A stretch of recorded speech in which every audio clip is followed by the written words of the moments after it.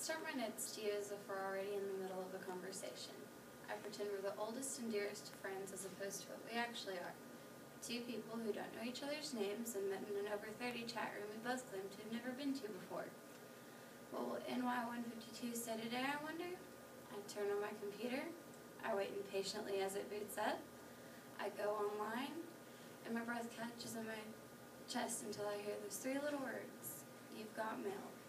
I hear nothing not a sound on the streets of New York, just the beat of my own heart.